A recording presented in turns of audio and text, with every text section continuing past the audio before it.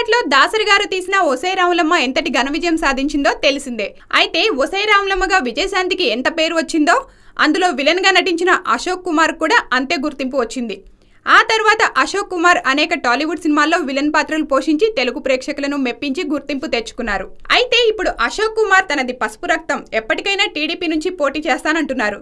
ఓ ప్రముఖ మీడియా ఇంటర్వ్యూలో మాట్లాడుతూ సీఎం చంద్రబాబు పిలిస్తే వచ్చే ఎన్నికల్లో పోటీ చేసేందుకు సిద్ధంగా ఉన్నానని తన మనసులో మాటను బయటపెట్టారు. ఇప్పటికే ఇతర పార్టీలు కూడా తనకు ఆఫర్ ఇచ్చాయి కానీ వాటిని కాదన్నానని పేర్కొన్నాడు. ఎందుకంటే దూరదృష్టితో పాటు గ్రేట్ విజన్ ఉన్న నేత చంద్రబాబు. ఆయన నాయకత్వంలో పనిచేయడానికి తాను ఇష్టపడుతున్నానని తన అభిప్రాయాన్ని కుండ బద్దలు కొట్టి మరీ చెప్పారు. రెండు వేల పద్నాలుగులోనే పోటీ చేద్దాం అనుకున్నాను కొన్ని కారణాల వల్ల ఆగిపోయానని అశోక్ కుమార్ పేర్కొన్నారు.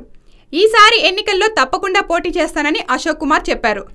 అయితే ఈ అశోక్ కుమార్ ఎవరో కాదు మన మూవీ మొగల్ డి రామానాయుడు గారి దగ్గరి బంధువే. అయితే ఆయన ఎక్కడి నుండి పోటీ చేస్తారనే విషయంలో ఇంకా క్లారిటీ రాలేదు.